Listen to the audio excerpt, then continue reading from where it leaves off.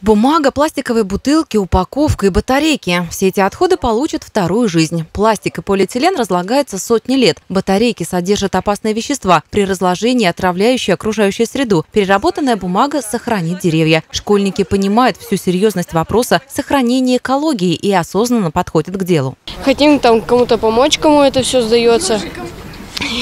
Ежиком. Вот. И чисто для себя.